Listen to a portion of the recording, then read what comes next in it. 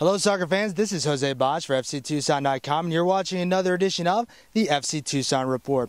We're here live in Fresno, California, where FC Tucson is preparing for tonight's match against division-leading Fresno Fuego. The last time these two clubs met, Fresno went into Tucson and won 1-0 in a highly contested battle. Now, FC Tucson would like to pay them back with a big road win here in Fresno. Spoke with head coach Rick Schantz and some players about what they need to, need to do tonight to get the upset.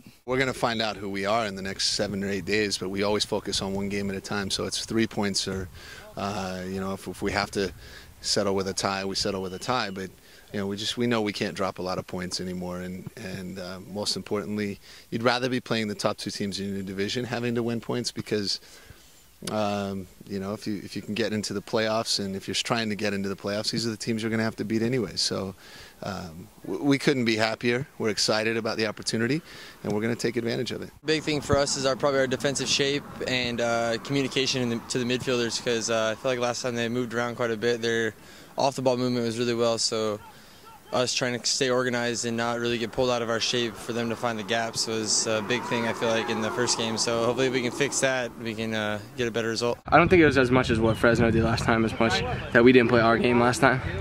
So I think we know that if we play the game that we want to play and follow our game plan, then we should be successful. We got to give a lot of credit to Fresno when they came down to Tucson. They had a very good game plan.